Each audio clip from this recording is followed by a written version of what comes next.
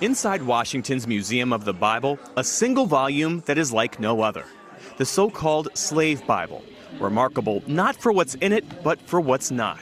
So, about 90% of the Old Testament's been removed, and about 50% of the New Testament's been removed. Uh, to put it another way, a normal King James Version has 1,189 chapters in it. Uh, the Slave Bible has only 232. Missing are chapters and verses that might have encouraged uprisings. Book of Exodus redacted. No story of Moses demanding Pharaoh, let my people go.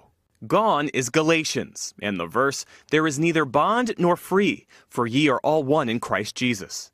And no Jeremiah, Woe unto him that useth his neighbor's service without wages. What they've left in are verses such as Ephesians 6 5, which is the famous verse, Slaves, be obedient to your master. Looking at this Bible, it's hard to tell that anything's been taken out of it. That's correct. I mean, it looks like a normal book. For many enslaved Africans, this would have been the first time they were exposed to the Bible. A Bible selectively edited to instill obedience, using religion to underpin the horror of slavery. When people encounter this exhibit, what lasting impression do you want them to leave with? But we want to pass the message on that may this never happen again. Uh, the Bible itself is a, is a whole book. It's not one that you get to carve up and use this piece or that piece. The slave Bible designed to repress rebellion, but it didn't work.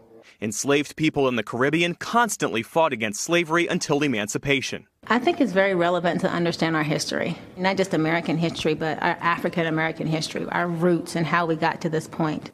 A dark chapter in the history of the good book. Jeff Bennett, NBC News, Washington. Hey, NBC News fans, thanks for checking out our YouTube channel. Subscribe by clicking on that button down here and click on any of the videos over here to watch the latest interviews, show highlights, and digital exclusives. Thanks for watching.